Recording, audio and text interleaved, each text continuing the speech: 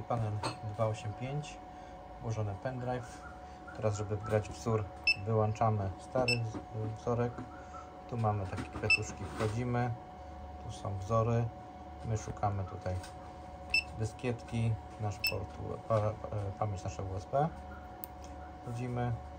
Szukamy tutaj. Gdzieś czapka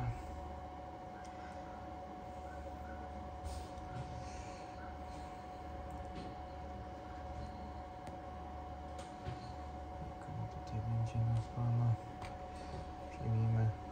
Nasza czapeczka jest tutaj nie mamy podglądu. Przesuwamy do maszyny. Tu mamy pierwsze wolne pole, w którym się zapisze. Nazwa. Potwierdzamy. Dochodzimy dziczkami. Szukamy 60 i mamy nasz apteksik. Zaznaczamy, potwierdziliśmy. Teraz musimy jeszcze raz potwierdzić wzór. I mamy nasz wzorek. Wybór kolorów jest tutaj, czyli wybieramy sobie kolory jakie chcemy, potwierdzamy.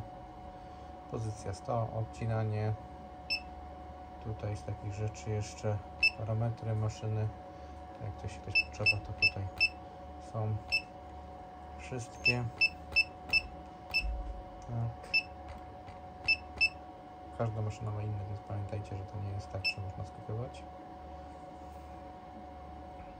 wybór tamborka tutaj. Wybieramy tamborek do czapek. Wybór. Wchodzimy tamborki szukamy do czapek. Maszyna nam się ustawia